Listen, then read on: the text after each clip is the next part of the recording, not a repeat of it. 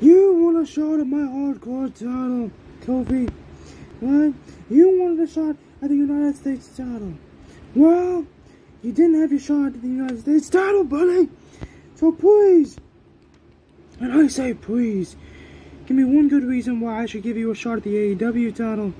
Please, give me, John Moxley, one good reason why I should give you a shot at the AEW title, the All Elite Wrestling title.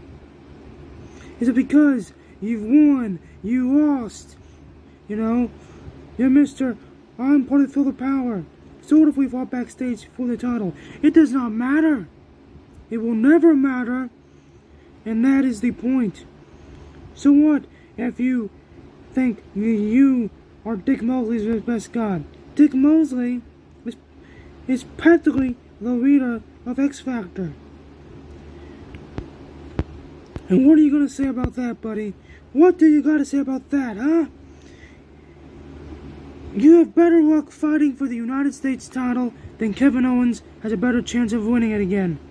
And that's a damn fact, and you know it. I'm Undertaker, baby! Hardcore! Hardcore, hardcore. The last show we did was a, you know, was a banger. So great, so bad, and some sense the word some of us got in fights backstage.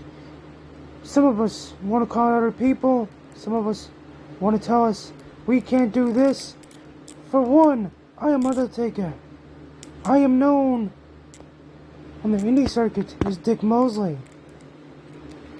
What I'm gonna tell you right now is what you can do, and it's fuck off, bug off, don't be a dipshit, and screw you all. But you know, we all know one thing, and that one thing is John Moxley, you're right. He does have a better chance of winning the hardcore United States title back after two years of not holding it. But the fact is, he wants your title, and he can get your title. Because Tony Khan called me and said he wants your title. Tony Khan and me have come to an agreement and said he's gonna get your damn title.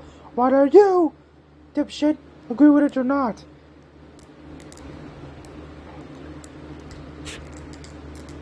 You can fucking screw yourself over. You can go to hell.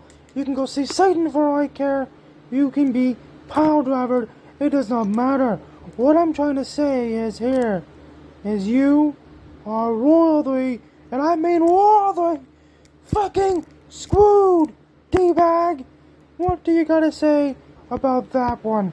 Ha ha! See ya! See you later, buddy. See you at the next pay-per-view.